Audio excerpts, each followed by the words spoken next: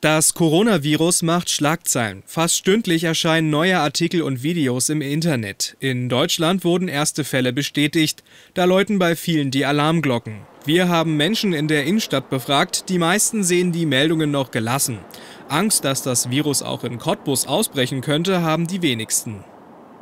Da wir, sagen wir keine Bekannten haben, die im Ausland sind und auch nicht welche, die husten, habe ich also keine Bedenken.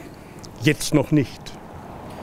Also ich wohne in der Schweiz, deswegen ist mir eigentlich egal, ob es nach Cottbus kommt. Aber ähm, ja, das kann ja überall hinkommen. Und das ist eine, ja, also, aber Sorgen mache ich mir da jetzt nicht. Also weil Cottbus nicht eine Insel ist und äh, ja, das Virus sukzessive über China nach Europa schwappt und wir keine Insel sind, wie gesagt, und äh, wir mit Sicherheit auch damit rechnen müssen, dass es uns ereilt. Ja, sehe ich nicht so in dem Sinne. Ich nehme mal an, dass man da so ein bisschen übertreibt in dem Sinne, wie damals verschieden in den äh, Schweinegrippe oder sowas sein, ja, oder Vogelvirengrippe und sowas alles.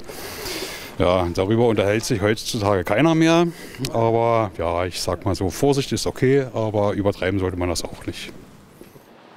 Die Stadt sieht das ähnlich. Der Verwaltungsstab, bestehend aus Feuerwehr, Polizei, dem CTK und der Stadtverwaltung, trifft trotzdem Vorbereitungen.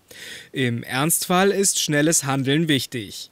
Bürger können sich außerdem auch auf der Internetseite der Stadt über das Virus informieren. Dazu hat die Stadtverwaltung eine Hotline für Verdachtsfälle eingerichtet. Die Nummer 0355 632 339 ist rund um die Uhr erreichbar. Anrufer können dort ihre Fragen zum Virus loswerden. Wer also Symptome meint zu bemerken, sollte eben gerade nicht zum Arzt gehen, sondern zunächst zu Hause bleiben und telefonisch sich erkundigen. Dafür ist dann unter anderem auch die Hotline gedacht, äh, damit eben eine mögliche Ansteckungsgefahr möglichst weitgehend minimiert wird. Aber all, all das ist im Moment in Cottbus kein Thema. Viele wollen trotzdem vorsorgen. Besonders begehrtes Stück der Mundschutz. In Apotheken immer noch Mangelware. Ob der aber wirklich schützt, ist umstritten.